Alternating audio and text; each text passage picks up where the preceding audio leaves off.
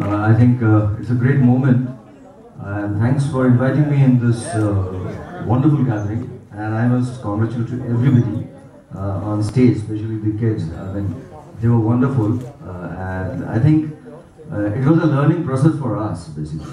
Honestly speaking, it was like I was like zapped, and the kind of answers they were giving was wonderful, and I think it was a great initiative.